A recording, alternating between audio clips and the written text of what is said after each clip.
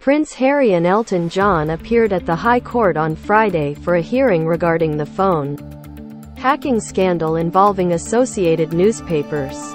Harry is suing the company for allegedly intercepting his voicemail messages.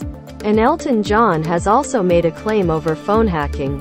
While outside the court, Harry had a brief altercation with a photographer, where he appeared to accidentally bump into him while trying to avoid the camera.